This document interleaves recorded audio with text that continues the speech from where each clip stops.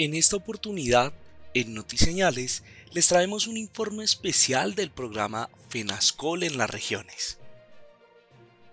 Asistimos a Barranquilla a varias reuniones de incidencia lideradas por Henry Mejía, en compañía de Amado Donado, presidente de la Asociación de Sordos del Atlántico, Azatlán, y Ariel Mantilla, presidente de la Asociación de Sordos de Barranquilla, ASBAR.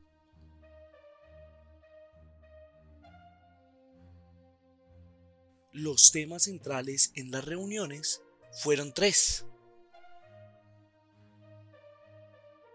Conocer la situación de las personas sordas en relación con sus derechos, trabajo, educación, participación, salud, etc.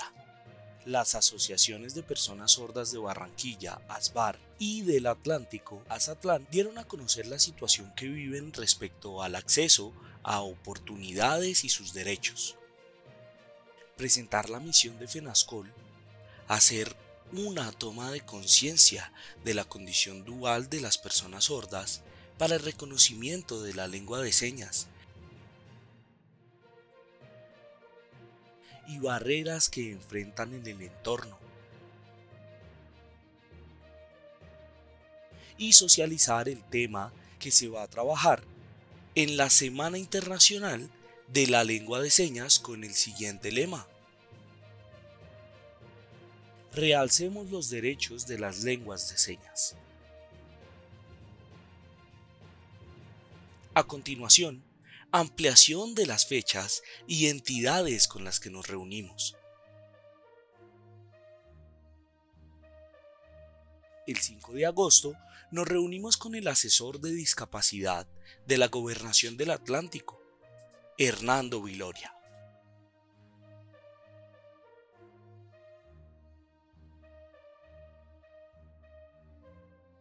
El 6 de agosto estuvimos con Brian Corredor, jefe de la Oficina de Inclusión y Desarrollo Productivo, Centro de Oportunidades.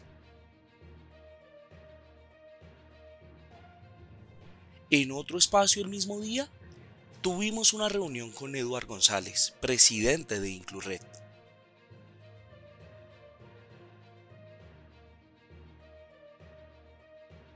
El 8 de agosto nos reunimos con Ana María Aljure, gerente de ciudad, y con Viviana Luque, asesora de la gerencia de ciudad.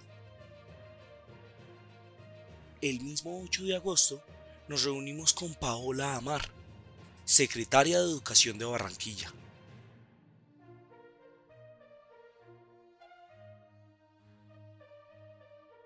Y el 9 de agosto nos reunimos con el concejal de Barranquilla, Estefanel Gutiérrez Pérez. El mismo 9 de agosto estuvimos con Lilian Urueta, directora de Going Barranquilla.